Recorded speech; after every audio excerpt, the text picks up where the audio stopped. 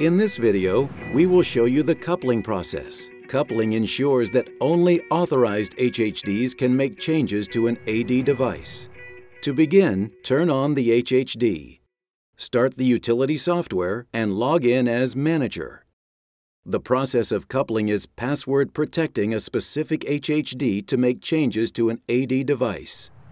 Changing the coupling password is very important to ensure your AD devices only communicate with your handheld devices. Please note, your coupling or programming password is separate from your SUS login password. To start, change the programming password from the factory default. Tap SUS Options at the bottom of the screen and tap Programming Password from the menu. The password window will appear. Enter your old password in the Old Password box. Then, enter your new password in the New Password box. Re-enter the new password in the Confirm New Password box, then tap Submit. The Password Changed Successfully message will appear.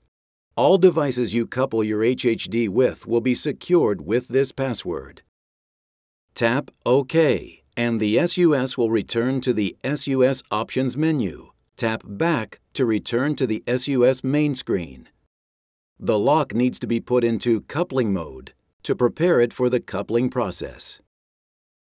At the door, remove the top cover from the inside assembly. Remove the protective plug from the USB port and connect the HHD cable. Press the Schlage button twice to activate the USB port on the lock. The Schlage LED will flash to indicate the USB connection and the device will appear on the HHD. Tap Device Options.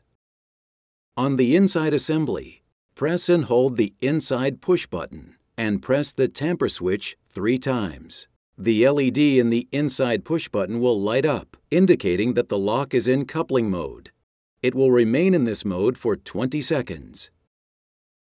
On the HHD, tap the Couple HHD to Device button the coupling process will execute and will let you know when it is complete. This AD lock can now be securely configured and programmed with this HHD. Using the same HHD, you can now couple with your AD accessories.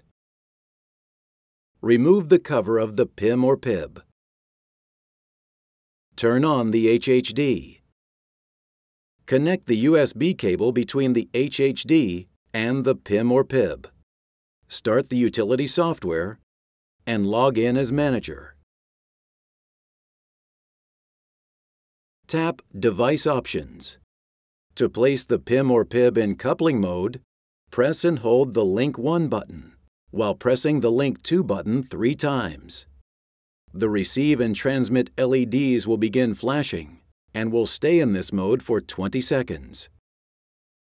On the HHD, Tap the Couple HHD to Device button. The coupling process will execute and will let you know when it is complete.